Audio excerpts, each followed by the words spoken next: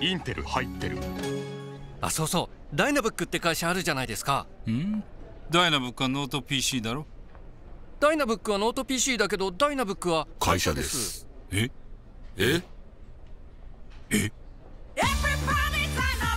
ダイナブックはノート PC をはじめ幅広い分野でソリューションをもたらすコンピューティングサービスカンパニーダイナブックつまりダイナブックとは会社です。